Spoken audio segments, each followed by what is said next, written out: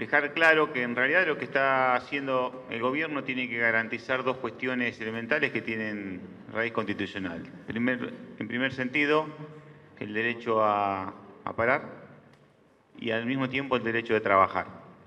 Lo que se está haciendo es, a los efectos de discernir quién ejerza cada derecho, por eso esta declaración jurada lo que hace es permitir discernir quién ejerce el derecho, su libertad a trabajar, de aquellos que ejercen su derecho a- constitucional a, a adherir a una medida de fuerza, a los fines administrativos de que para algunos casos no se abone el día no trabajado, o sea, la prestación no efectuada, no es descuento, no se abona la prestación no efectuada, mientras que se le abona el día normalmente a quien declara haber ido a trabajar o no haberlo podido hacer por las consideraciones que dijo el ministro Goiti.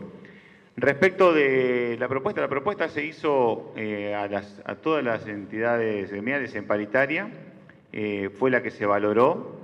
Sería una falta de respeto decir en esta situación que pudo haber habido otra, es la máxima que se pudo otorgar en esas circunstancias, lo fuimos francos, se lo hemos dicho en, en esa mesa. Por lo tanto, somos respetuosos de las decisiones que se toman en el proceso interno que tiene cada gremio, pero son, lo que, como dijimos el primer día, las posibilidades de aumento tienen que ver con las posibilidades de mayores recursos. Aún así, considerar los siguientes eh, guarismos o indicadores. Desde diciembre, si tomamos el mes de diciembre, con esta propuesta que hemos formulado, los salarios de abril serían un 62% mayores a los salarios de diciembre y los salarios de mayo serían un 69% mayores.